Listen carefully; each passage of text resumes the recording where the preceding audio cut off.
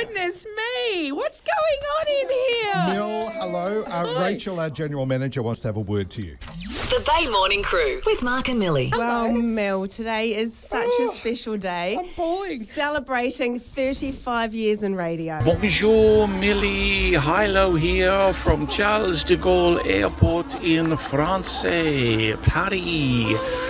Congratulations on a stellar career, 35 years, stupid accent. Congratulations on 35 years in radio, an amazing career you've had.